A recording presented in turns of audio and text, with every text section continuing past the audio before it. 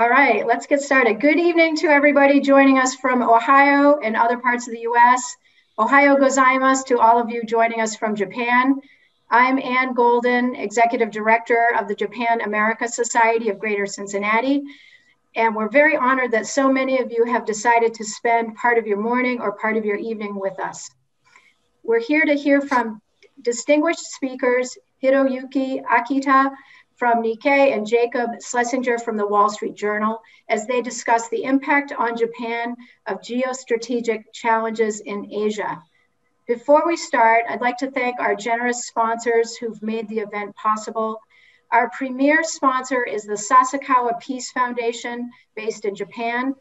Additional sponsors are the National Association of Japan America Societies in Washington, D.C., and Frost Brown Todd in Cincinnati. Promotional partners for the event include the World Affairs Council of Greater Cincinnati and Northern Kentucky and the Foreign Policy Leadership Council. Thank you very much to all of our sponsors and event partners. We're very grateful to you for su supporting this event. Also, a quick word about our schedule. Our moderator, Joe Dehner, will explain more details, but our event is scheduled to run until just about seven o'clock in the, in the official event. And then we'll have time after that informally for questions. So please send your questions through the Q&A function, either in English and Japanese or Japanese. And our moderators will pick up your questions at around seven o'clock. We'll start answering those. So feel free to do that. Next, I'd like to introduce Peter Kelly, president of the National Association for Japan America Societies since 2009. Peter would like to make a few opening remarks. Peter? Thank you, Anne. And thank you to the Japan America Society of Greater Cincinnati for, for hosting this event, to you, uh, Joe Dehner, and Steve Rinsberg for, for putting this event together. I'm Peter Kelly from the National Association of Japan America Societies. Tonight's event is entitled the impact of, on Japan of geostrategic challenges in Asia. It is part of the Geostrategy series, which the National Association of Japan America Societies and our partner in Japan, the Sasakawa Peace Foundation, have organized. The purpose of this series is to draw attention to the significant challenges, geostrategic challenges that both the United States and Japan face in Asia. There are nine of these events being hosted by different Japan America societies in the first three months of this year. And each of them has two speakers, one from Japan and one from the United States, who discuss the geostrategic challenges. Part of our effort is many Americans, and, and, particularly in a place like Cincinnati, know Japan very well and appreciate Japan as a source of investment in the local economy. And we want to use this series to make sure that people are also aware of the challenges in Asia that are growing by the day that both Japan and the United States face. We're very grateful to the speakers who participate, one each. Tonight, you have two journalists, so it will be journalist on journalist for the first time in the Japan in the uh, Geostrategy series. And we, we thank both uh, Jake Schlesinger and Hiroyuki Akita for, uh, for joining us. This is the fifth out of the nine series uh, events this year. The next event will be a little bit later this week in, uh, in New Orleans, which will be hosted by the Japan Society of New Orleans, and that will feature Tomohiko Satake of the National Institute of Defense Studies in Japan and Richard Fontaine of the Center for New American Security in Washington, D.C. So that one will be Think Tanker on Think Tanker. We, uh, we are very grateful. We, we hope you'll enjoy the, uh, the presentations tonight and learn from them. I'm certainly looking forward to it. Thanks again to the uh, to the speakers, the Sasakawa Peace Foundation in Japan, and to the Japan America Society of Greater Cincinnati. Thank you, Peter. Next, I'd like to introduce tonight's moderator, Joe Dehner. Joe Dehner is an attorney at Frost Brown Todd here in Cincinnati and is the Japan America Society of Greater Cincinnati Board of Trustees past president.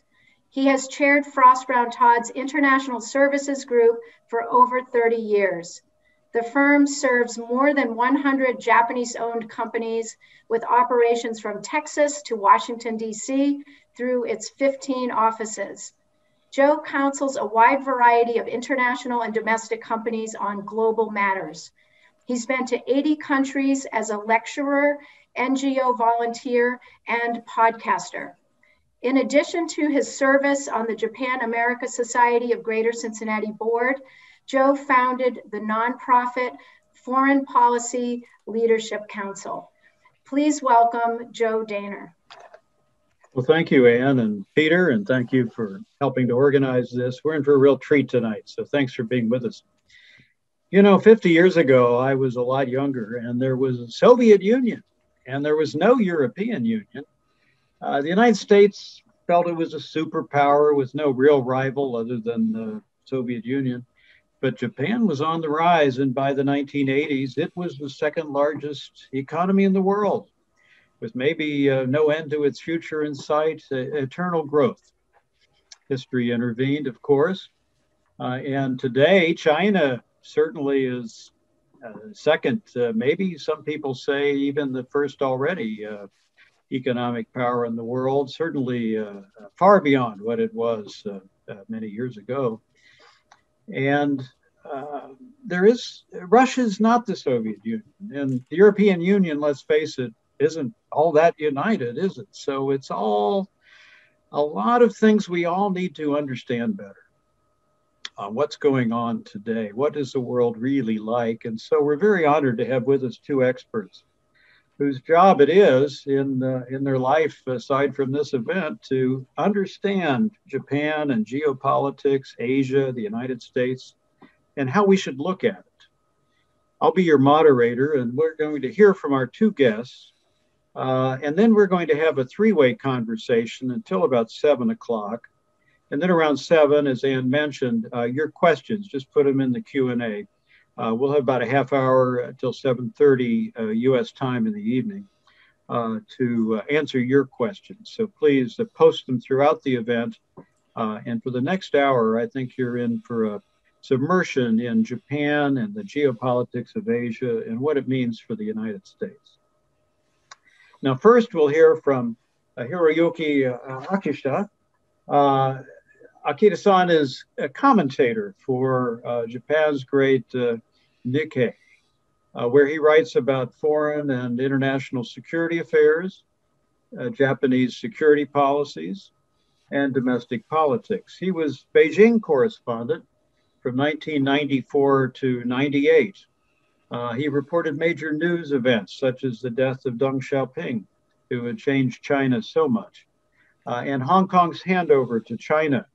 Let's uh, wonder what that's like today and how that affects what we're going to talk about. He was Washington chief correspondent uh, for Nikkei from 2002 to 2006, and that meant he covered the White House and the Pentagon and the State Department during the uh, the second uh, Bush administration.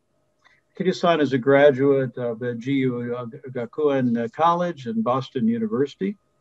From 2006 to 7, he was associate of the U.S.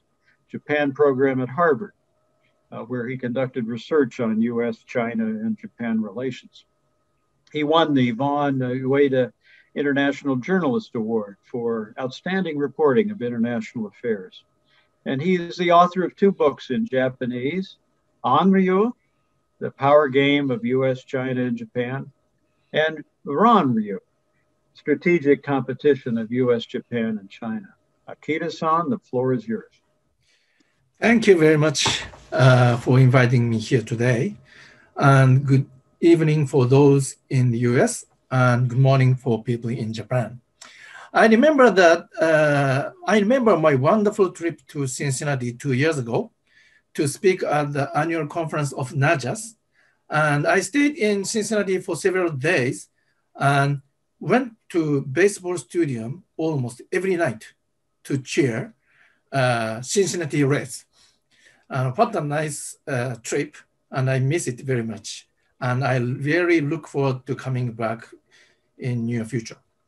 So in my 10 minutes first remark, I'd like to uh, explain and predict the future direction of Japan in terms of its strategy.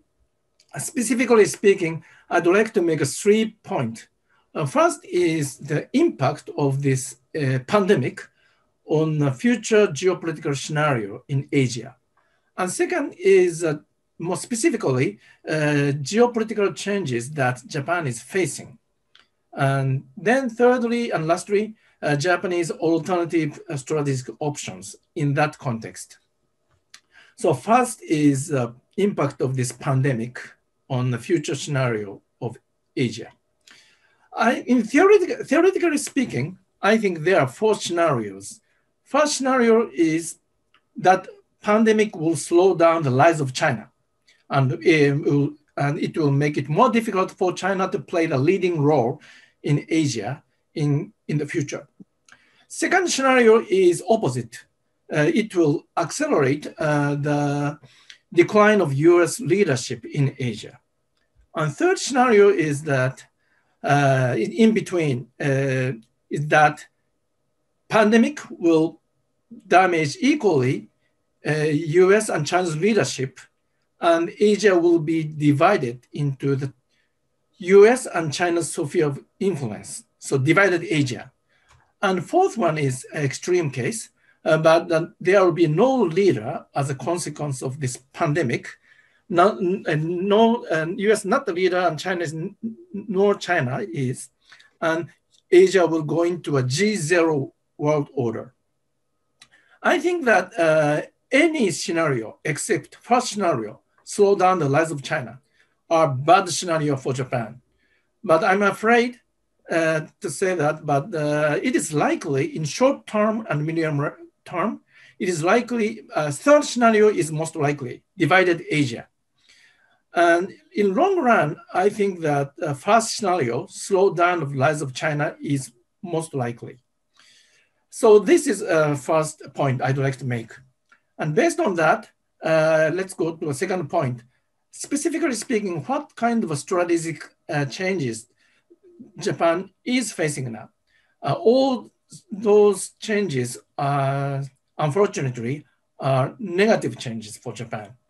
But there are three major factors. First factor is, of course, bigger and more assertive China. And second factor is North Korea and Russia. And third factor is the United States itself. So China. Uh, China is expanding militarily very rapidly uh, to the extent uh, that uh, military balance of power in Asia has been shifting to be more favorable to China. And uh, number of the warship of Chinese Navy uh, surpassed that of the US for the first time by 2020. And now China deploys about 2,000 ballistic missiles on their ground, and that covers Japan. And Japan and US do not have none of them. But more importantly, uh, in, this, in the midst of this pandemic, China spreads the narrative that China's political system, Communist Party regime, political system, is much superior than that of the United States or other Western countries. So they try to expand their political influence too. And they are emphasizing that COVID-19 situation prove that, is proving it. Of course, a democratic country like Japan do not buy that kind of narrative, that, but we have to pay attention to this trend. Second is uh, North Korea and Russia. And North Korea now, according to a latest estimate, now at, possesses at least 30 nuclear bombs. And they keep producing additional bombs, nuclear bomb, every day. And according to a Japanese policy planner, uh, North Korea had already deployed nuclear ballistic missile that can hit Japan. This is a sea change for Japanese geopolitical situation. Uh, maybe please imagine that, uh, let's say, Cuba deploys nuclear ballistic missiles that can hit all part of the United States. So this is the situation of Japan now.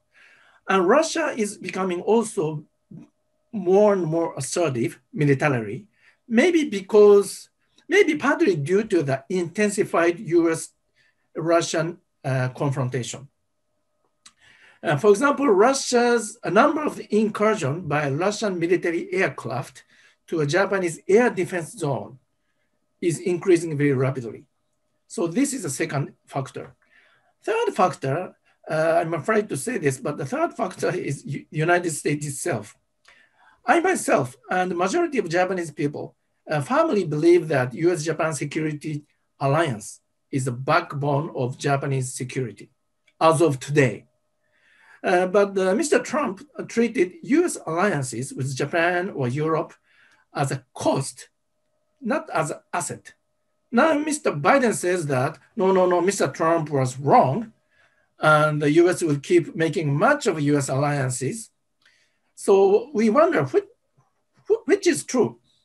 Of course, we hope that Mr. Biden is true, but um, uh, also we have to, I have to assume that Mr. Trump's position reflects some part of US American uh, potential mindset. So this, all these three changes combined together, uh, I have to say that the Japanese geopolitical environment is becoming more unfavorable and will keep uh, getting worse. So that leads us to a, a third point. What will be the Japanese strategic uh, alternative strategy in coming years? If US-Japan Security Alliance will remain sufficient to keep securing Japan, that is plan A, and we don't have to think about alternative. But uh, maybe it is time for Japan to start inte intellectual thinking about the future scenario.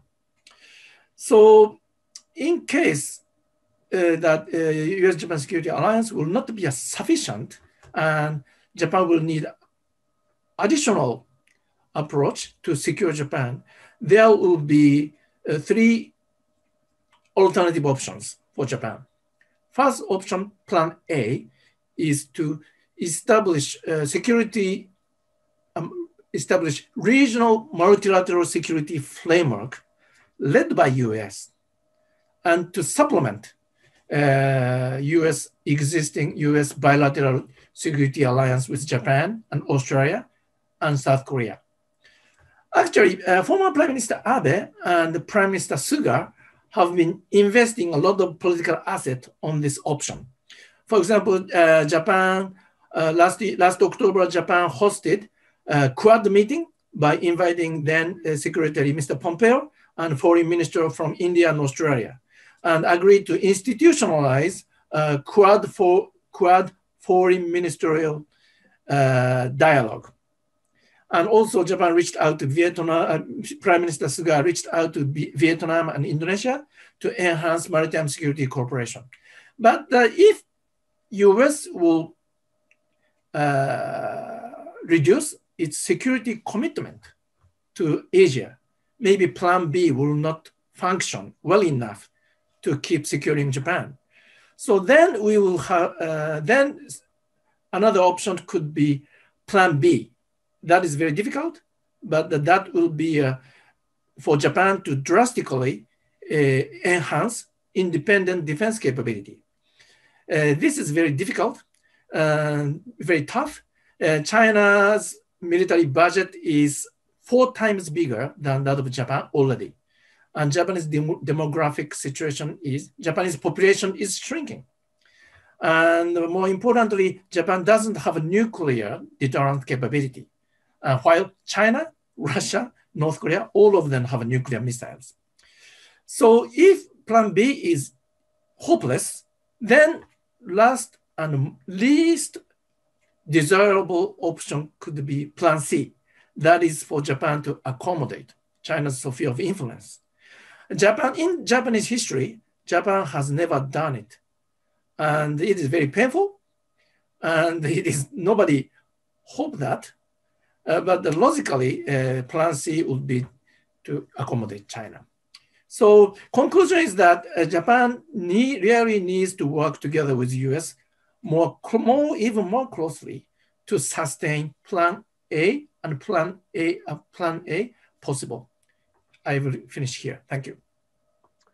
Well, thank you. And that's a perfect segue to our next guest, because now we'll turn to the United States view of, of things. And we couldn't have better uh, host for this journey than uh, Jacob Schlesinger. Uh, Jake is senior correspondent for the uh, Wall Street Journal's uh, Washington Bureau. He has previously covered trade and globalization. He served as the journal's global regulation, uh, financial regulation editor. He's been deputy Washington Bureau chief. Uh, he spent the last 25 years moving back and forth between Washington, D.C. and Tokyo and other places for the journal, where he most recently was Tokyo bureau chief uh, and Japan editor. Uh, graduate of Harvard University with a degree in economics, he has covered topics including the Federal Reserve, uh, economic policy, and presidential politics. He's the author of Shadow Shoguns the Rise and Fall of Japan's Post-War Political Machine, published by Simon & Schuster. He was a member of the journal team that won the 2003 Pulitzer Prize for explanatory reporting and was awarded Stanford University's 2014 Shorenstein Journalism Award for outstanding reporting on Asia. Jake, what are your views? Well, thank you, uh, Joe, and also to Anne and, and Peter. Um, it's a great honor to be able to join the Japan America Society of Greater Cincinnati and the Sasakawa Peace Foundation and to, to be here with various friends, um, at least virtually old and new. Uh, my only regret is that I can't actually be there in person um, right now. I hear Cincinnati is, is lovely this time of year. Um, Akita san gave a great overview on how things look from Tokyo, and, and he's a tough act to follow. I'm going to try and match him by giving a parallel perspective um, from Washington. And I'm going to start by noting that a month ago, Joe Biden paid his first visit as president to the State Department, and he declared, quote, the message I want the world to hear today America is back. Diplomacy is back at the center of our foreign policy. End quote.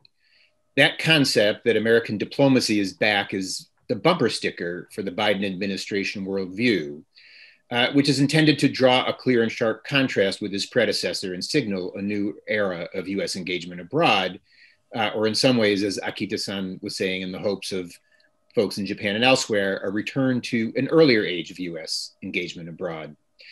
I'd like to use that as the frame for my uh, portion of the, the remarks today to explain what Biden means and doesn't, what's likely to change and won't, and what that signifies for Asia and for American allies, in particular, of course, Japan. Um, but before going forward, let's briefly review the past four years of American foreign policy under President Trump. Uh, Akita san went into this briefly, but to go into a little more detail, Donald Trump took office in January 2017, vowing to smash the long standing bipartisan consensus that had defined America's role in the world. Since World War II, American presidents, both Republican and Democrat, had committed to building a world order defined by American leadership and American values of free markets and democracy. They created and cultivated a complex web of alliances and international institutions, and they believed that that was all in America's enlightened self interest, even if it, if it involved some clear costs, whether that was stationing US troops abroad and going into battle to defend that order far from American shores or keeping US markets open to free trade and investment, even if that hurts some American companies, communities, and workers. Japan, by the way, was one of the biggest beneficiaries of that Pax Americana, which is a point that Akita san made well. Um, that US troops in Japan and around Asia ensured Japan's security through the Cold War and have continued to do so in the post Cold War Asia, increasingly defined by a rising China and a belligerent, unpredictable North Korea open US markets helped make possible Japan's export driven economic miracle and the rise of Japan's world beating automotive and electronics industries. As I say, American leaders for decades broadly felt that that was an acceptable bargain. Yes, there were periodic tensions over trade and burden sharing for defense, but overall, Japan was seen as vital to the US as a partner and a model. There was, on the other hand, a separate view, a minority view that was part of the American debate that American leaders were naive. They were suckers, selling out to American interests in the name of vague globalist ideals, while our so called allies, including Japan, took advantage of us. Donald Trump held that view long before he became president. In fact, it was one of the first public political stances he articulated when, as a young New York real estate developer, he took out full page newspaper ads in 1987. And this is the period, Joe, you had referenced in your opening remarks about Japan feeling ascendant. And in those ads, Trump called on the US to curb military support of Japan and other allies. The ads read in part, quote, for decades, Japan and other nations have been taking advantage of the United States. The world is laughing at American politicians as we protect ships we don't own, carrying oil we don't need, destined for allies who won't help, end quote. And while Trump's positions on many other issues fluctuated over the years, he remained consistent on those concerns and took them into the White House. His bumper sticker was America First. He demanded allies from NATO to South Korea and Japan pay significantly more to maintain their military ties with the US under the threat of scaling back or withdrawing American troops.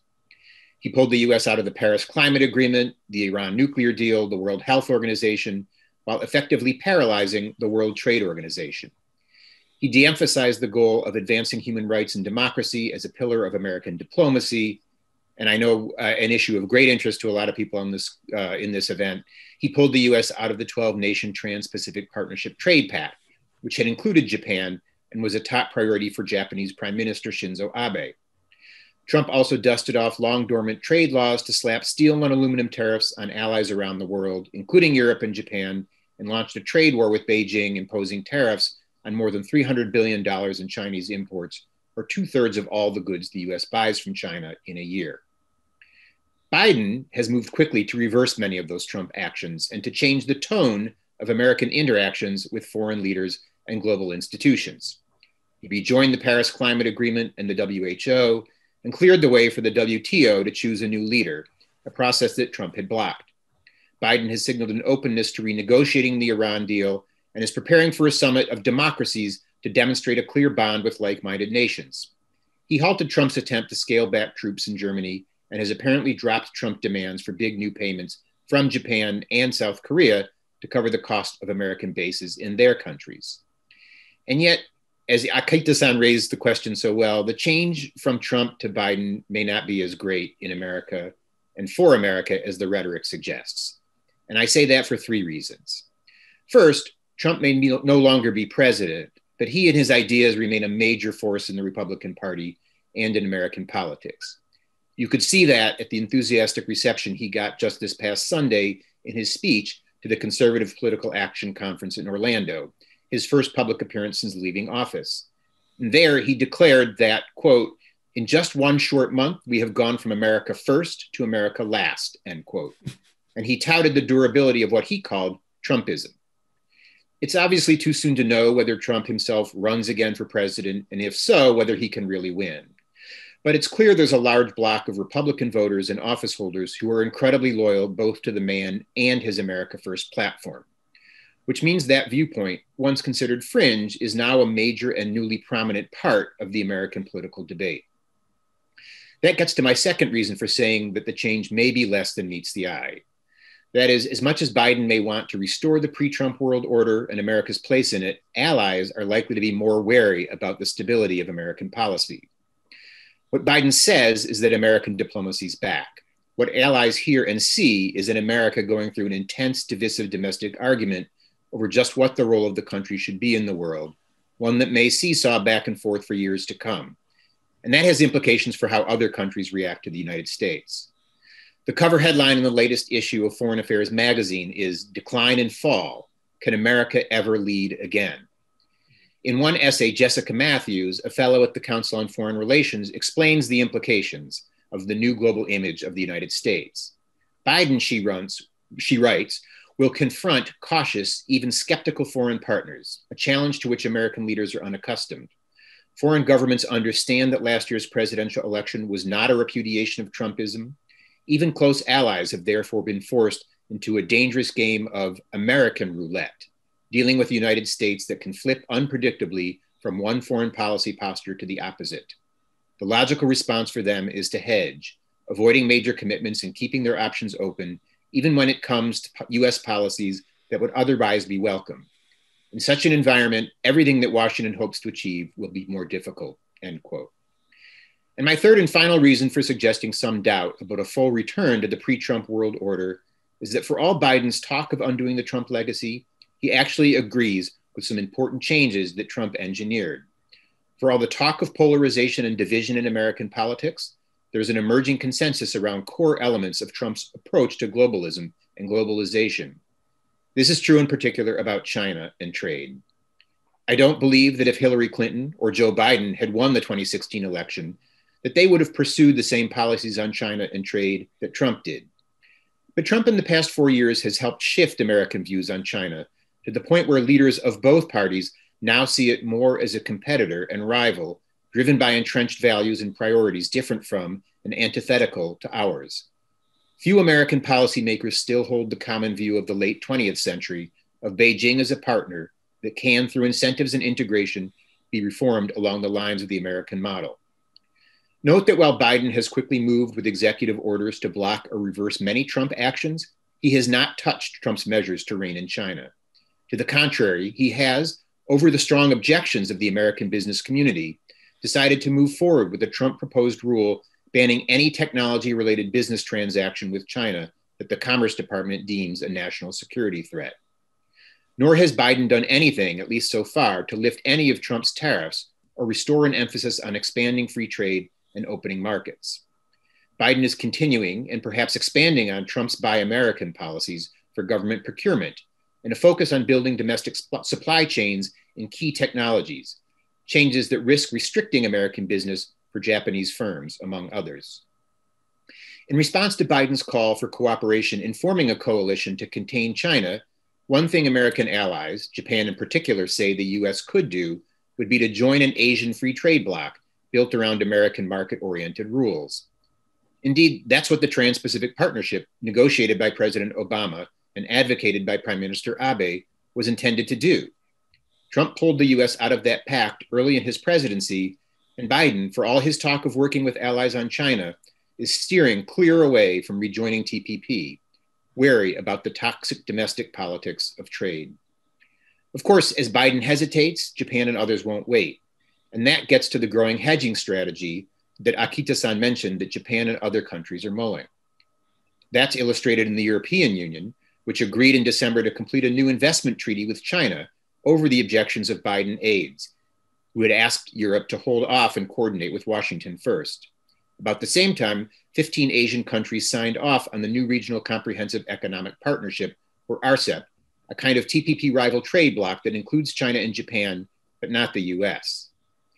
But that's now a risk American leaders seem willing to take. For the establishment in both parties, Trump's election and his durability have been a real wake up call that a wide gap had emerged between America's global agenda and support for it by America's working class. Even if those leaders believe that global agenda was and remains the right course to pursue, and that the overall benefits to the country exceeded the costs, they've concluded that it became politically untenable. And so, in a way, you can look at Biden's agenda as an attempt to revive a pre Trump American foreign policy, but to try and make it more sustainable by marrying it with Trumpian arguments and policies, at least in the short term. And I'll end with that and look forward to uh, the exchange of views that Joe will lead us through. Well, what a great start. And uh, Jake, I'm going to start with you on this one, and then we'll turn to Akita-san. But, you know, it's said by some knowledgeable commentators that Japan depends too much on China for its prosperity and too much on the United States for its security. You think that's true? Yes. yes. No, I mean, it, I mean, it, it's, uh, it, you know, Japan's uh, dependence on China for trade is much, um, you know, is, is highly significant. Um, as Asia becomes a regional integrated economy, um, you know, Japan can't really function uh, without being fully open to China. I think a lot of the talk of trying to decouple from China is particularly uncomfortable for Japan. But as Akita-san said, well, I mean, Japan can't exist with a security arrangement without U.S. backing. Um, and I think that as the U.S., even under Biden, tries to force uh, a greater decoupling from core parts of China, um, I think those that's going to be a really hard position for Japan to be in. Yeah, Akita-san, I'll turn to you, but let me just add a couple of statistics for the audience. Uh, China is 24% of uh, Japan's imports and 19% of its exports. Uh, compare US, 18% uh, of our imports are from China, and only 7% of our exports go to China. So, very different relationship, isn't it? So, what do you think? Is it true? Uh, too much reliance on China for prosperity, too much on the US for security? Uh, I agree that uh, your description. And according to a recent uh, survey for Japanese companies in China, uh, they asked, uh, the question was that, uh, do you have any plan to relocate or reduce their operation in China? And only, it was only, I think, six or 7% of company who said yes. So more than 90% of Japanese corporation wants to stay in China. But actually, I as I remember that uh, U.S. Chamber of Commerce in China or Shanghai conducted a similar survey for American companies who have operation in China, and uh, I think it was about 10% of the company uh, that are willing to relocate or reduce its operation in China. So uh, there is a difference of degree of reliance on China between US and Japanese companies, but the non Japanese, not only Japanese company, but American company also wants to stay in China to penetrate, to keep penetrating into, into Chinese market. So that is a similarity, uh, though there is a difference of reliance on Chinese market between US and China, US and Japan. And as for uh, Japanese too much reliance on US security umbrella.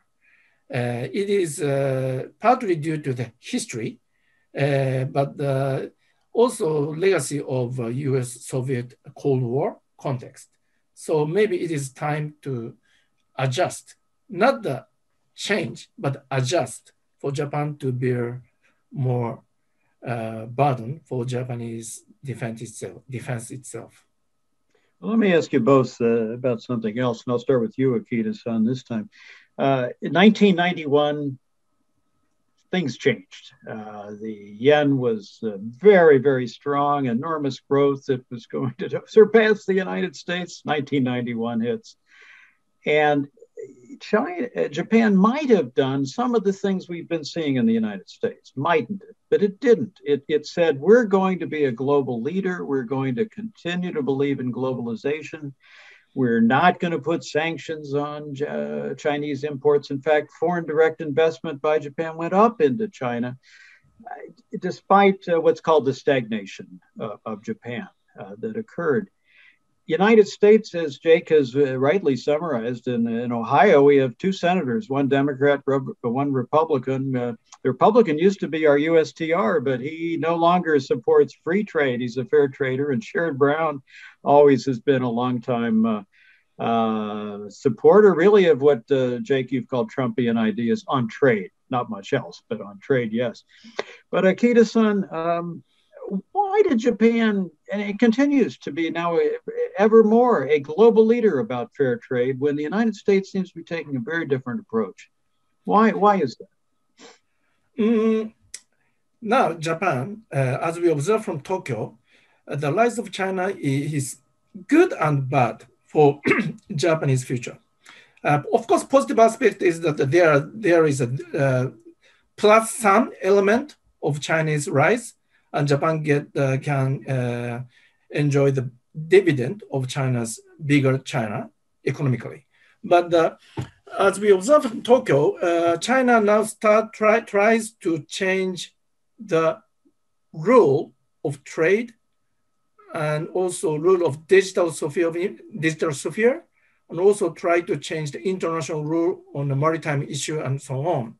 So basically, uh, Japan wants to played a role to sustain US strong commitment to this region economically and militarily. And that framework, one of that framework was TPP. TPP is not the trade liberalization, but the TPP is a rule, rule making framework by US and its allies and partnership. So uh, unless Japan plays more proactive role not necessarily global role, global leadership, but the active role to sustain U.S. commitment to this region. This region will be designed by Chinese rule. And that is the one Japan really wants to avoid. That's why Japan is now willing to play a little bit more international role in this regard.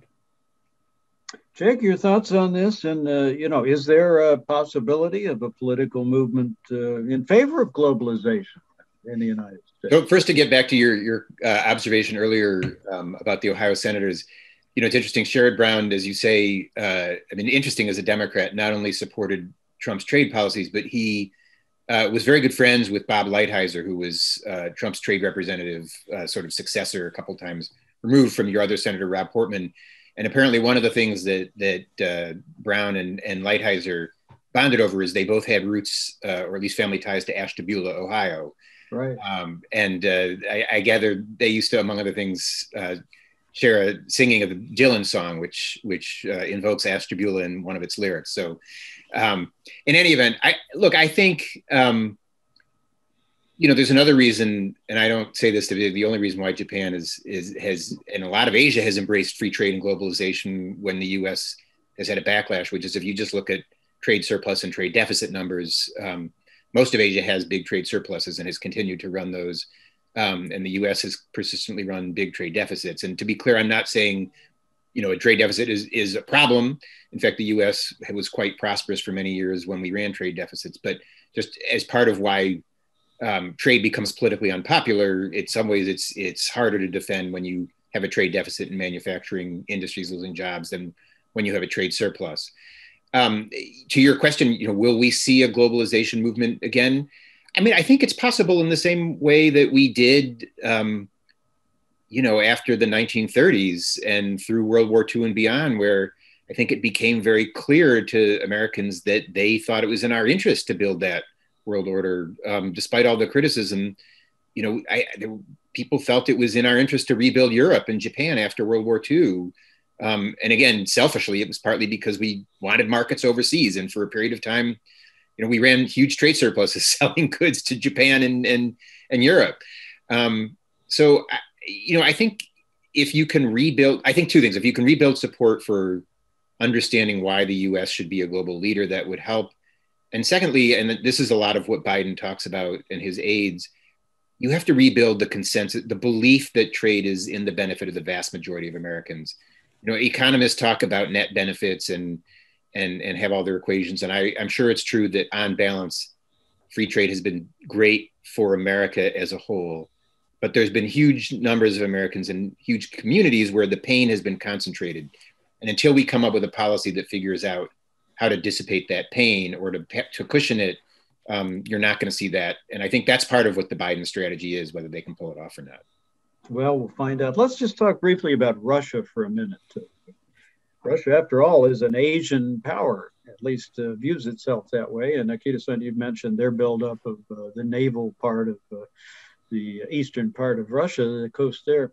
But what about Russia? Is if it's out a wild thought, is if maybe Japan uh, has an equal interest with Russia and the United States in countering what we see from China, not just the South China Sea, but throughout the region. Uh, can one see a, a, a, rather strange alliance one might not have predicted around that? Uh, you, either one of you at this time. Who wants Go to ahead, I can send you start. Oh, yeah. Oh, uh, yeah. Prime, former Prime Minister Abe was a good friend of with President Putin and, uh, he couldn't get a peace treaty. Uh, right, right, yeah, exactly. One of his I wrote, yeah. I wrote the very critical commentary of, of about his Russian policy, uh, because of the reason uh, because of the reason you just just mentioned. But the rationale for former Prime Minister Abe or Japan uh, to maintain to have maintained good relation with Putin is to drive is to drive wedge wedges between China and Russia. Mm. Uh, I, but it was failure. But the purpose was to drive wedges, or at least try not to push Russia toward uh, Chinese side so much. Uh, so it's kind of a geopolitical tactics for Japan, and uh,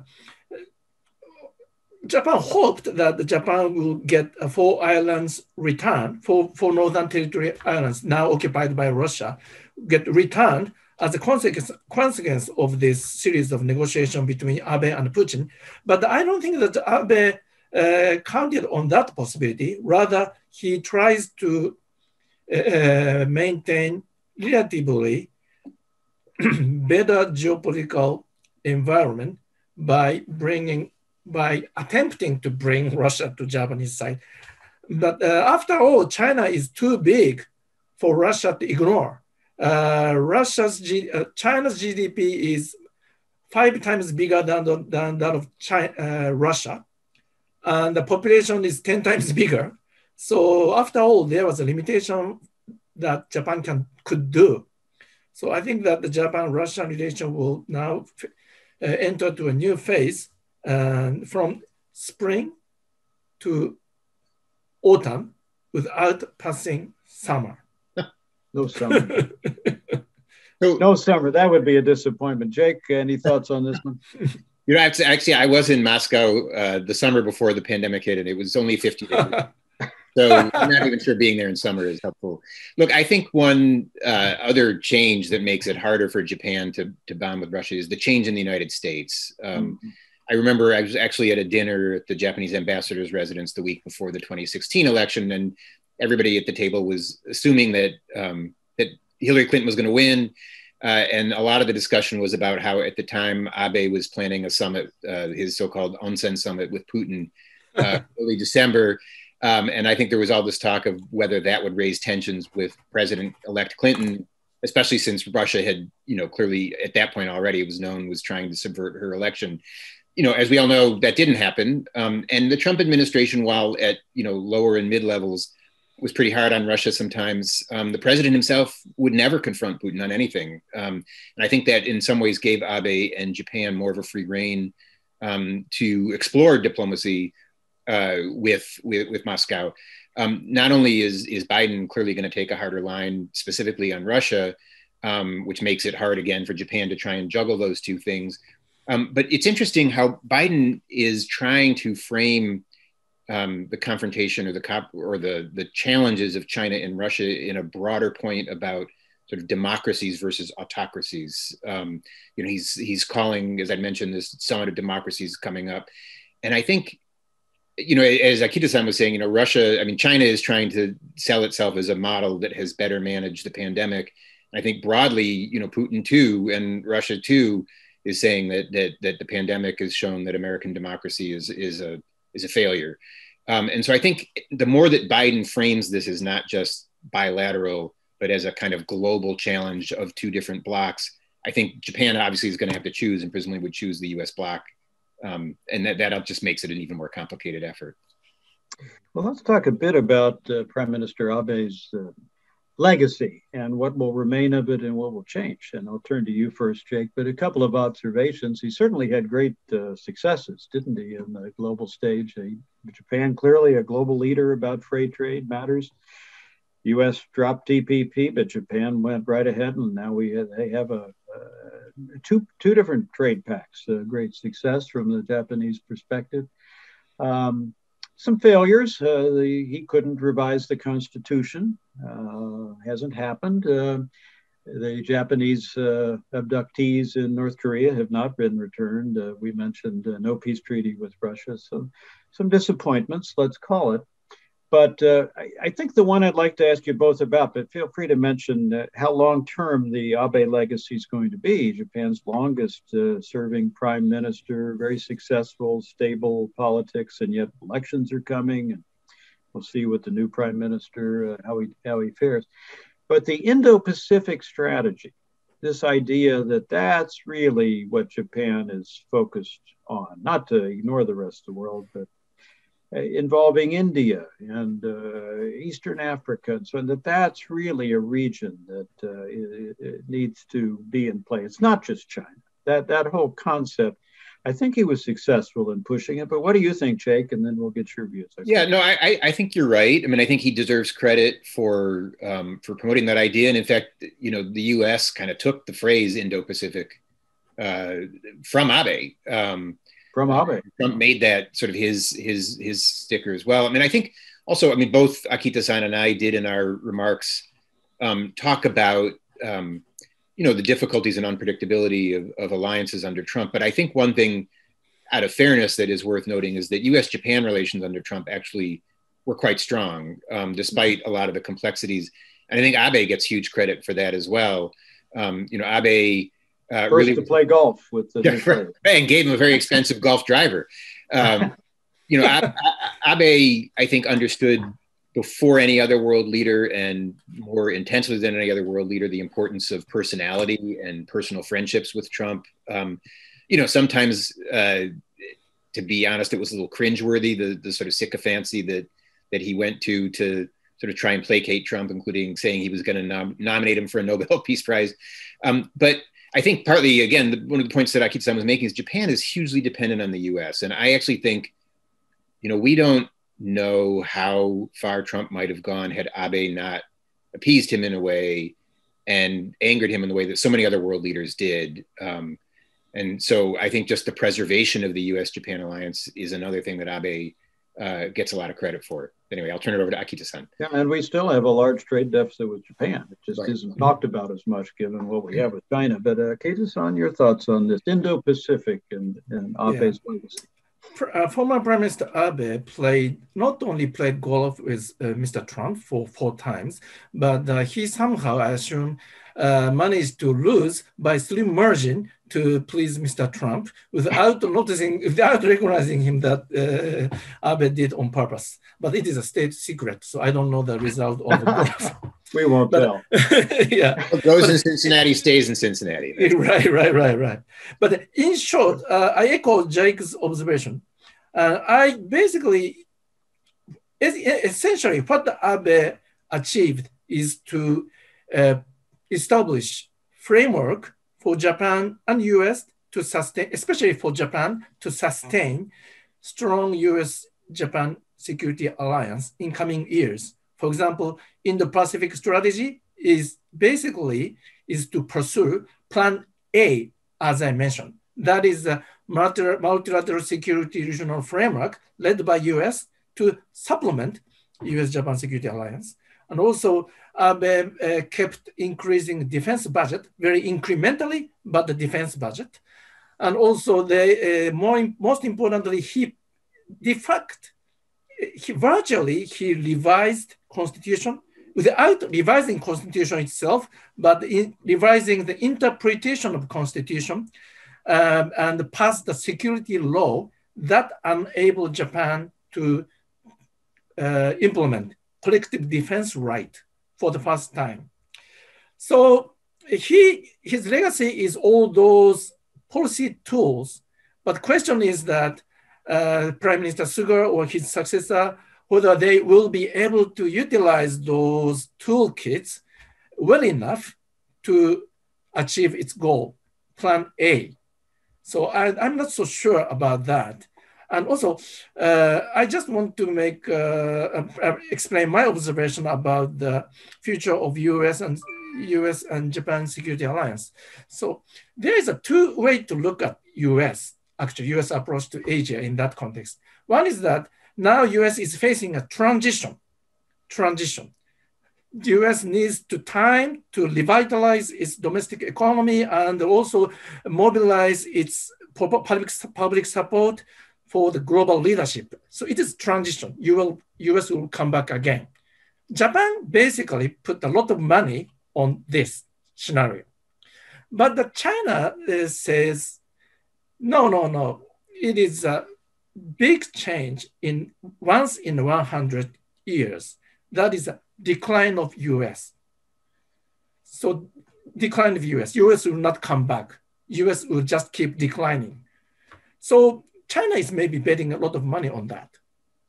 So, so depending, depending on whether US is facing a transition or this is the start of a decline, Japanese or other US allies' approach to US will differ a lot. If it is were to be a decline, other US allies, not only Japan, have to prepare for the plan B. But if it is a transition, which Japan believe it is, uh, maybe uh, Japan is willing to uh, contribute for US to go through that process as fast as possible. So in that sense, Japan support uh, Biden's foreign policy that benefit uh, middle class of US. But I don't know the answer whether it is transition or decline. Well, we'll find out. Let's meet again in 10 years. We'll know the I will begin to. But let me let me uh, one last subject, and those of you in the audience will turn to your questions in about five minutes. So put your Q and A into the uh, question and answer box, the chat box, if you wish, and uh, that's what we'll start in about five minutes. But here's my last topic. Two minutes from each of you, please. Uh, South China Sea, but it's really a, a it, it's kind of a, just a phrase we use to ask this question. Can can Japan really trust the United States to do what it's been doing for 70 plus years? And vice versa. Can we expect Japan now to not just expand its navy more than ever, but perhaps one day even become a nuclear power? After all, their missiles facing them, as you pointed out, from the DPRK. I've been there. Uh, yeah, strange place. But, um, you know, this question how much trust is there today in a fundamental sense about this partnership uh, the two countries have had for so long now? Uh, Akita san, two minutes. What do you think? Okay. Uh, since again, since Japan uh, now, as of today, believe that U.S. is facing painful transition or painful start the painful recovery of U.S. global leadership. So in that sense, Japan trust Japan believe that U.S. will keep security commitment to Asia, including South China Sea. Maybe it may weaken for incoming years, but it will come back. That is a premise. That is a belief as of today. Um, about the nuclear option, uh, now Japan is, US provides strong nuclear umbrella to Japan. So Japan doesn't have to uh, think about nuclear option. But if we have to move to a plan B, uh, then nuclear option uh, is the one we have to maybe uh, think. And there are spectrum. One easiest option for is to Japan to accommodate nuclear weapons of US, like West Germany or European West European country during uh, during Cold War period. Mm-hmm. Then second one is the nuclear sharing, like UK and what the UK and US is doing. And third option could be a French model, independent nuclear capability within the framework of US-Japan alliance. And fourth one is a independent nuclear, like India and Pakistan. That is the one I ideally do not support. This will break down the US-Japan alliance. So maybe, you know, there's a spectrum and we, in the future, maybe US-Japan could think about easy, easiest, you know, start easiest option that will be to you know, accommodate U.S. nuclear asset. Thank you, Jake. Your thoughts on this? Yeah. So, I, I mean, I think to answer your question directly, you know, at a surface top line level, I think there is trust still on both sides. Some of that trust is just rooted in hope, meaning I think for both countries, if the trust in the alliance declines, um, you know, therein lies a lot of unpleasant things that neither one wants to get into. I, I would just cite um, maybe a little bit of a diversion, but I think a couple points worth raising that we haven't gotten into yet in that context is there are sources of potential tension between the US and Japan that might arise under Biden that would not have existed under Trump. So, one is Biden, more than Trump, is emphasizing democracy and human rights. And mm-hmm. uh, you're seeing not necessarily um, open, but I think behind the scenes, a lot of tension uh, beginning to emerge between Washington and Tokyo over how to handle Myanmar, where both countries have condemned the coup. The US has sanctioned the leaders. Japan, I believe, has not yet taken financial action and hasn't said whether it would. Um, Japan has much bigger economic stake in Myanmar than the US does. And you know that's a potential crack. Another has to do with uh, Japan's relations with South Korea, which are terrible and continuing to get worse. Um, and that's been a source of tension between the US and Japan for a while. Not to say that the US only blames Japan, there's enough blame to go around there. But the fact that America's two biggest military allies in Asia cannot talk to each other is a serious problem for America projecting force in the region uh, and really building an anti-China alliance. And I'll just close by by noting that Biden himself has some personal history in this, which may carry over. Which is that in uh, in December of 2013, Biden was in Asia um, visiting Japan and then South Korea to try and, when he was vice president, to try and broker, essentially, if you will, a, peace uh, agreement between then Prime Minister Abe and then South Korean President Park Geun-hye. Uh, and one of the things he supposedly thought he got from Abe was a pledge not to visit uh, Yasukuni Shrine, uh, which everyone knew would inflame South Korea. Biden supposedly told Park, President Park, that that wouldn't happen. Two or three weeks later, Abe goes to Yasukuni, and things just really uh, collapsed for a while. And, and Biden apparently was personally furious at Abe in Japan for that. Um, he obviously um, sort of moved on, uh, but I think that that's another issue that has to kind of be there when you're talking about trust between the countries. Perfect. Well, it's seven o'clock time for Q and A. So our team has questions. If you've submitted them in Japanese or English, it's fine. Uh, first question, please. Question from Lynn Hamamoto. How do you think the multiple threats of climate change, excuse me, to national security of either and both allied countries stacks up against perceived military threats in view of the fact that military activities of buildup are inherently toxic to the global environment? Jake, why don't you go first? Yeah, actually, I'm glad that you asked that question, Lynn, because climate change obviously is another, you know, hugely important issue for both countries and for their relationship. Um, you know, I don't know that. Um, I, I, don't know how you compare and contrast it with a military threat, and I think increasingly, if it becomes worse, as some projections suggest, you know, climate change becomes a military issue, whether it's climate refugees or uh, battles over scarce resources. Um, I, one interesting wrinkle to me is um, that for all of Biden's talk of, of continuing Trump's policies of confronting China, um, he also really needs cooperation with China on climate change if you're going to really make a dent um, in carbon emissions. China being the world's largest uh, carbon emitter uh, of greenhouse gases. And so, and, and, that's also, I think, a delicate issue that they haven't really addressed in the Biden administration. China understands that. They understand that the US badly wants their cooperation. And I think sees that as a bargaining chip uh, perhaps over other issues like trade and human rights. Akita-san? Yeah, uh, I think Japan uh, now perceive uh, perceives uh, climate change is not only threat to a threat not only to the environment of Japan, but Japanese national security. Uh, Japan, in recent years, Japan is being hit by many, many hurricanes and also many heavy rains and so on.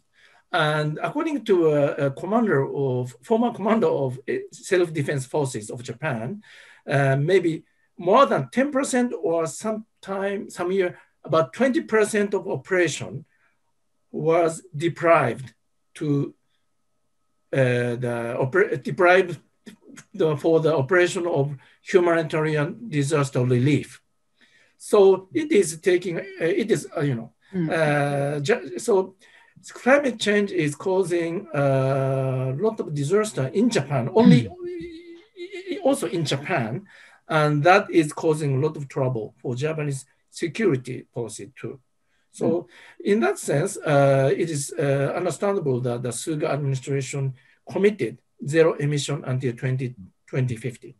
So this is a security policy, not only environmental policy. Thank you. Next question.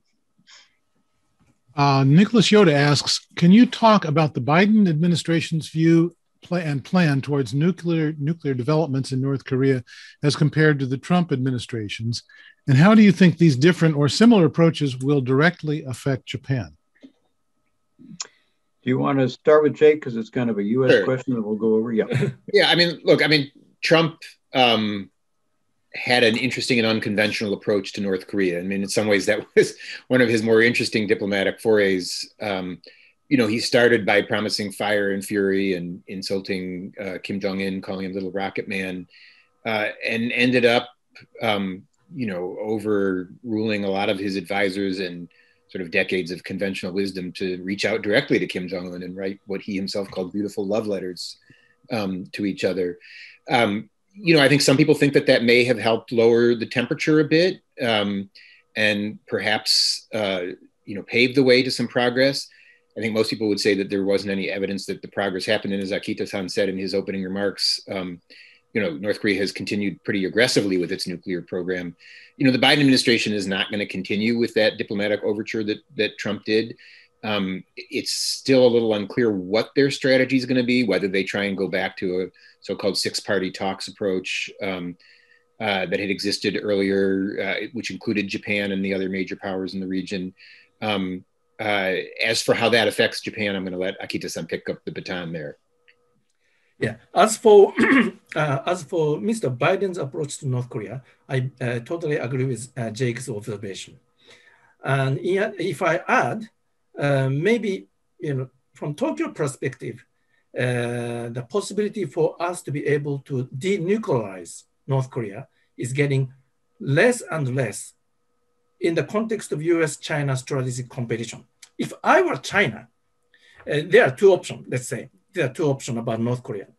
North Korea without nuclear weapon, that will be able to normalize its diplomatic tie with the US. This is scenario one.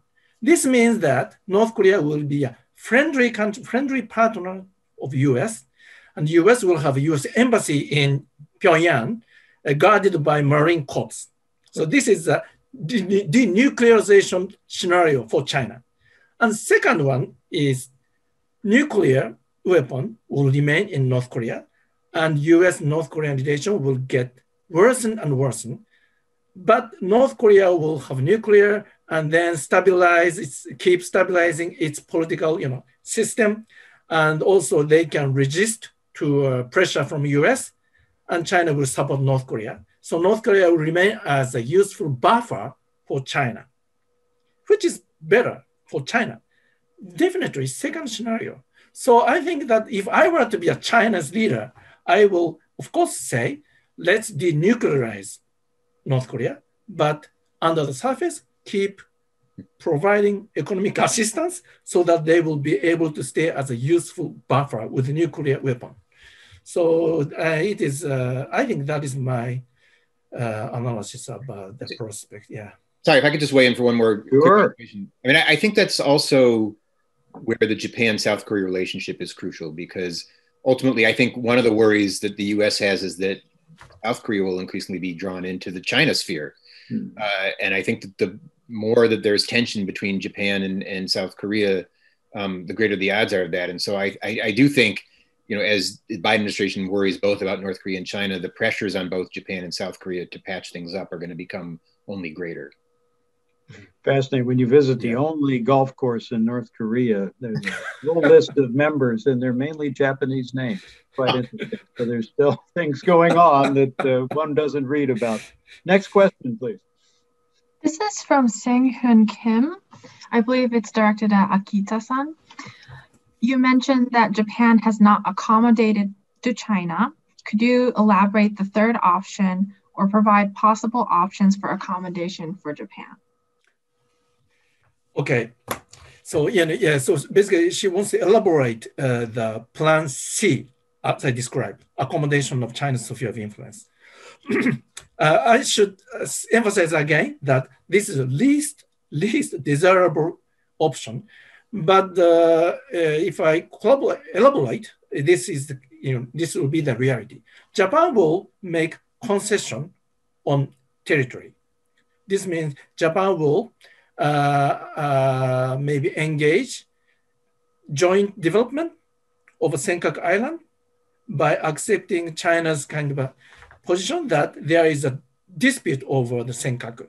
So one is a concession on Senkaku. And also maybe Japan will uh, be forced to uh, accept a more favorable trade condition. And also uh, Japan will accept a digital rule that will be set by China. And then this means Japan will be maybe, uh, Japan will be a part of uh, China's digital and economic sphere of influence. And also maybe Japan will uh, maybe accept China's interpretation, maybe not accept, but Japan will be uh, uh, pressure to accept China's interpretation of history. And China may ask Japan to you know, revise this part of a history book and so on. So this will not be an equal partner of Japan and China, but uh, it is a partnership between uh, Beijing and Tokyo that is uh, that condition, which condition is set by China. That is the scenario of Plan C. Not favored. Uh, of course, it is. Yeah. Jake, any thoughts on this one? No, I mean, I guess just a couple things I'd say. One is, I mean, I think another condition would presumably be loosening ties with the United States. Oh yeah, yeah, yeah sure, sure, yeah. sure. And, and, you know, it's interesting. I, you know, Akita-san says, you know, this isn't in Japan's interest, and I believe most Japanese think that. And I know this was a long time ago, but I remember when I moved back to Japan uh, after a hiatus in in uh, 2010. Um, you know, uh, Prime Minister Hatoyama had just taken office, and and and he had really freaked out people in Washington with an op-ed he wrote in the New York Times and comments he made, sort of suggesting that Japan needed to kind of look more at a, a triangular relationship of equality between uh, the U.S. and China. And you know, while that was repudiated quickly, and and I, I do think again, I'll defer to Akita-san that there's a strain out there of sort of this Asianist view maybe small in Japanese thinking, which is, you know, we are an Asian nation and our future really lies with Asia and Asian powers, not with the West. Mm-hmm. Next question, right. please. In accommodating China, is it possible for us to incentivize and or socialize China as a responsible stakeholder in maintaining and advancing common values and regional order of the Indo-Pacific? Jake, we'll start with you this time. So the question is is it possible? Um, i have no idea whether it's possible or not. I would say that belief that it was possible informed american policy toward china pretty uh, definitively from the early 1990s you know at least through 2012 and arguably through 2016 with diminishing returns um, meaning I think a lot of Americans felt like that was what was inevitable. That was that if you put China into the World Trade Organization, if you but you know had China open its market and trade with the rest of the world, it, I mean Bill Clinton explicitly said that when he was selling China's entry in the WTO.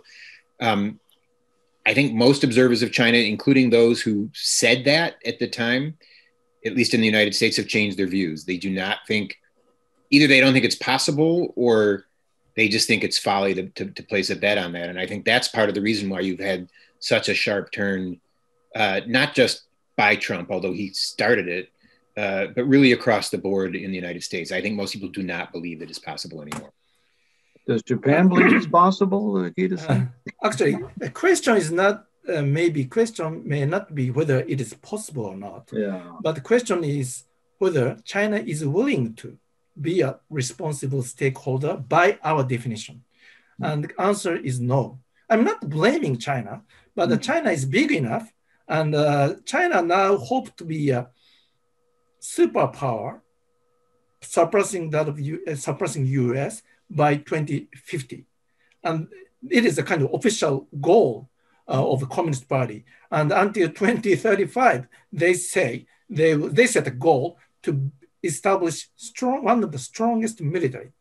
So basically, uh, they are not interested in becoming a responsible stakeholder by definition of US or Western country, but they want to be a responsible leader by their definition that is that doesn't include the notion of a Western demo, model of democracy. So it is, uh, I'm sorry, but I'm afraid that I have to be very pessimistic. I just to, briefly, if I might add to that, I think Akita-san put it well, and I would say a Chinese government leader, if asked that question, would flip it back on the questioner and say, "Is the U.S. or Japan are they willing to be stakeholders that you know are willing to follow Chinese beliefs and accept China's rise?" Um, and I think they would say, "We don't we don't believe that's necessarily possible." Next question, please. Okay, this is by Toshinori Otsuka. What are some of the key indicators that we should watch out for to judge whether the US is in transition or in decline?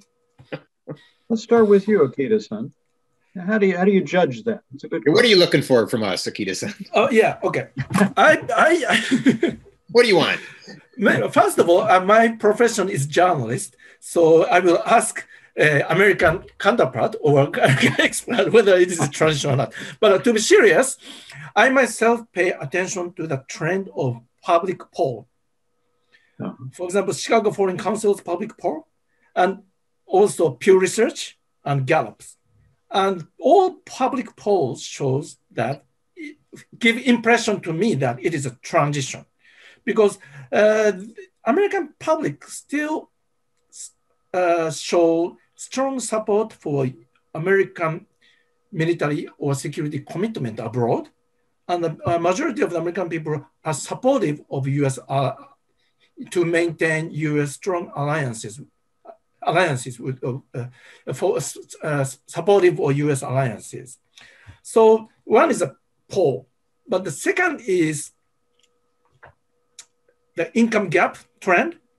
Now, 1% uh, of wealthy people in the US holds more than 50% of a stock of US. It is kind of, it is unsustainable. So I'd like to pay attention to a trend of this gap between rich and poor. This has to be, has to get fixed. If this gets wider and wider, I think that if I were to be an American taxpayer, I do not support US federal government to pay money to sustain military commitment abroad. So this is a two major indicator I'd like to pay attention to. Very interesting. Uh, Jake? So I, I, guess maybe citing two, starting with an anecdote to cite two contradictory trends. Um, I remember talking to a friend shortly after um, January 6th, that sort of awful day here in Washington and elsewhere. And he had said he was watching um, CNBC. And uh, as the TV was showing footage of, you know, extremist protesters storming the Capitol to try and disrupt, you know, this fundamental act of democracy, the Chyron was showing all of the stock market indexes hitting records that day and saying Dow hits record, S&P hits record, NASDAQ hits record. And um, you know, to the extent that you think the stock market uh, has some reality, or, you know, which is a projection of your views on the future, um, you know, it was kind of a bet that for all the problems that the U.S. was showing on great display, um, a lot of people think, as Akita-san says, it's a transition, and, and that there is an optimism out there, and some of that has been borne out um, by economic indicators since that have shown, you know, things may not be as bad as people had thought and are recovering faster but on the other hand, um, and I don't know how you put a measure on this or you gauge it um, for all the public opinion polls and things that Akita-san is citing. I mean, I do think we are in a crisis of our own democracy right now. Um, I think it is a serious problem. You know, whichever side you were on, whether you believe that there was uh, serious election fraud or not, um, the fact that you have a large portion of the population and a large majority of one of our two political parties that fundamentally believes we did not have a free and fair election. Um, I think if you can't stabilize a fundamental belief in American democracy and everything that flows from that, I think we are in decline, uh, both in terms of our ability to project our values and leadership around the world uh, and our ability just to fix our own problems. Um, and I think we don't know how that that particular question plays out right now. Good point. Next question, please. How can the Quad be strengthened as a kind of Asian NATO? What kind of steps would be required, and how can the ROK, the Republic of Korea, be brought on board? And as part of that, you may want to explain what the Quad is briefly for some of the audience. Uh, Jake, you you, you're, you're the security expert here. Why don't you start with that? Here we go. Akita-san. Okay. Okay. okay. Uh, yeah, Quad is now, uh, uh, Quad means in Japan or in Asia. Uh, Quad means now US, Japan, Indian, Australian uh, framework in which uh, all these three, four countries discuss about a security issue and trade issue, kind of holistic uh, topics. And then try to, uh, the framework that tries to institutionalize its security or trade or economic cooperation. So current status is that uh, four countries uh, agreed to have foreign ministerial meeting on a regular basis And the Biden administration is now proposing, uh, reportedly proposing to hold a summit quadro meeting for the first time. And the question is uh, whether it will be, it will evolve to be uh, Asian NATO. I'm a bit skeptical about NATO uh, because in NATO, in order to make it to evolve to be a NATO, Japan have to change its constitution. Uh, when India or Australia will be under attack by somebody, Japan have to send forces uh, under the NATO framework. But the Japanese constitution does not allow Japan to uh, play that role unless Japan is under the serious crisis, uh, because you know Japan uh, renounced the war. So, but still, uh, it could be uh, very helpful and important security cooperation framework, not necessarily mutual defense treaty, but the security framework by which uh, four countries will cooperate on maritime patrolling and also capacity building assistance of those ASEAN countries that uh, wants to improve their Coast Guard capability and so on. And as for ROK, as I understand, ROK is a bit cautious to engage this Quad because China perceive it as an anti-China framework. And ROK don't want to get sandwiched by China and US in that context. So Japan, uh, of course, uh, welcomes, I think, if ROK commit to engage.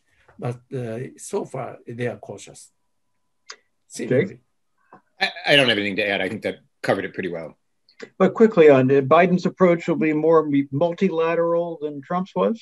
Yes. Oh, definitely. I mean, I think, again, Biden, you know, his, I mean, I had talked earlier in my remarks about, um, you know, Trump's whole view was a, from early on was a skepticism of alliances. I mean, Biden, mm-hmm. in contrast, I mean, literally grew up both, you know, learning the alliance system, supporting it, building it, um, you know, 40 some years in the Senate, chair of the Senate Foreign Relations Committee, a guy who, you know, spent his whole career meeting foreign leaders.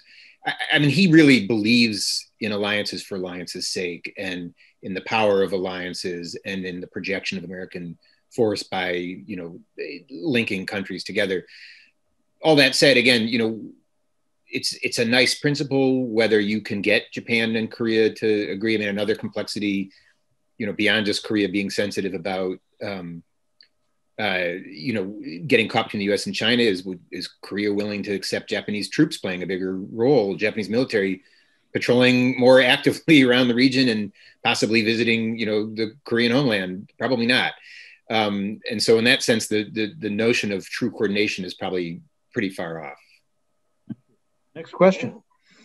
Next question's by James Kaya. We heard a lot about the PRC, the People's Republic of China, but what about Taiwan's status and how will Japan respond with US or without US support to PRC's possible belligerence towards reunification? And secondly, PRC's belligerence towards Hong Kong. Maybe Ed and Jake, you go first here. Uh, would the U.S. actually defend Taiwan if it were attacked? But anyway, yeah, I mean, it's a good. I mean, it says it will. I mean, it, it, the U.S. has made very clear that it considers Taiwan, um, you know, to be in its national interest. Uh, uh, you know, um, Secretary of State Blinken has has in some ways said he, you know, unequivocally he would support uh, and continue the Trump administration overtures to Taiwan. Um, if anything, I think uh, the Biden people will take a much harder line than the Trump people did on, on Hong Kong. Um, so, at least rhetorically, um, you know, the U.S. is is is committed to uh, those actions. Now, you know, push comes to shove, what happens militarily, hard to know. I mean, I think the U.S. hope is that by making that commitment, um, China will back off. Um, but I think you know the problems and the complexities there is that as, as you know taiwan feels more fiercely independent as taiwan fears more becoming you know seeing what's happened to hong kong um, you know does taiwan try and make a more explicit break and does that upend this uneasy uh, sort of you know status quo? I mean, in a way, a more ver, you know extreme version of what happened with the Senkakus, which is there was this kind of uneasy status quo until Japan, Japanese government bought the islands and then and took over them, and then it it it sort of created a new uh, instability. Um, that I don't know I mean, how Japan would respond. I'll leave that to Akita-san. But before you go on, Jake, would, yeah. would the U.S. expect Japan to participate with the U.S. if Taiwan were attacked? You know, I think what the U.S. would hope, and this was part of the um, change in the security laws that that Akita-san mentioned earlier under Prime Minister Abe, is that Japan would at least feel free to play a more active supporting role, uh, if not necessarily in combat, and probably not because that would be a bridge too far uh, but at least you know logistically could play a much bigger role in supporting American troops from behind uh, and helping create a more effective regional response. Akita-san? Thank you.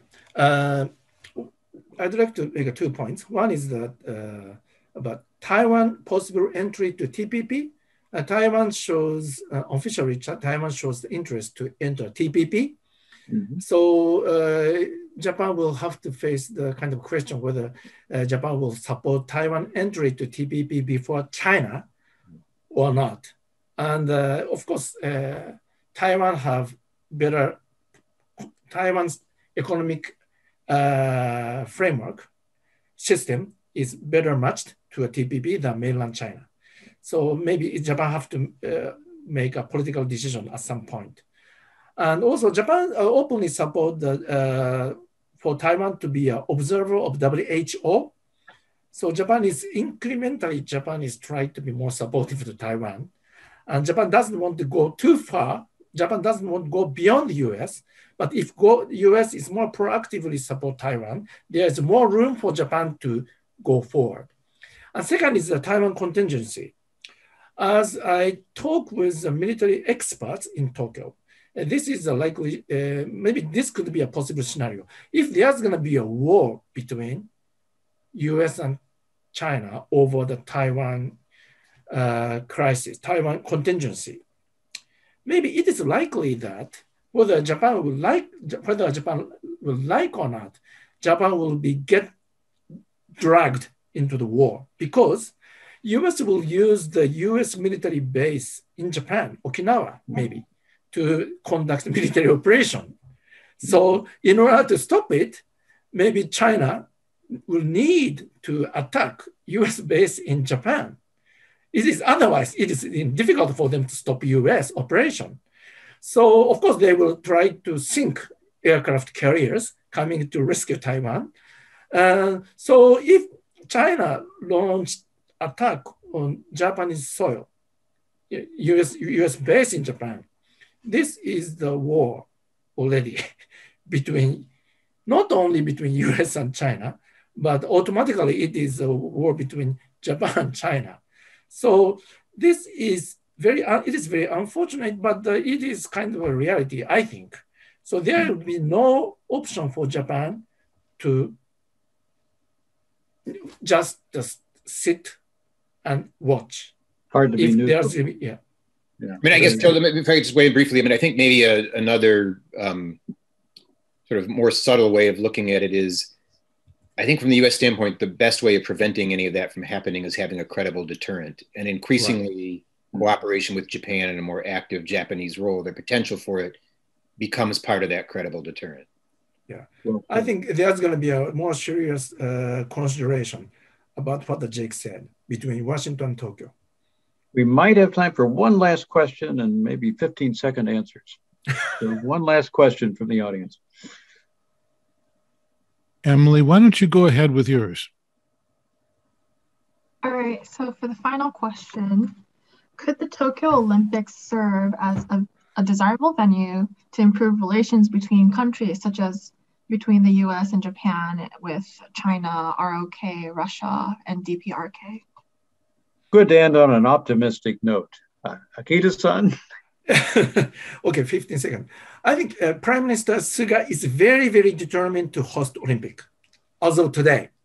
And, and my prediction is that Japan will host Olympic, uh, but maybe virtually it could be like a sports international international sports festival, because you know it is very difficult to invite all countries. but uh, Japan will anyway will call it Japan and IOC will call it Tokyo Olympic. that is my prediction. Very good, Jake. Last so word. I'll try and hopefully saying I hope so, and I think that in some ways the more interesting question well will be a will there will be an Olympics, and then b whether that spirit of harmony can continue to Chinese Olympics in 2022, or whether uh, the tensions spill into increasing calls for boycotting that. Perfect. Let's hope for no boycott and the world peace will break out and all will be well. I can't thank you both enough. Uh, thank you, Akita-san, and thank you, Jake, for leading this. We thank the Sasakawa Peace Foundation, NAJAS, uh, everybody who helped on this. The recording will be available uh, both on the Japan American Society of Greater Cincinnati YouTube channel and the Sasakawa Peace Foundation's website in about two days. Thanks to everybody. It's time to wrap up, and you've given us a lot to think about. We thank you greatly. Thank you for all the great questions and the great mind. Thank you very much for this opportunity. Thank you. Good evening to you all. Best wishes. Let's enjoy beers.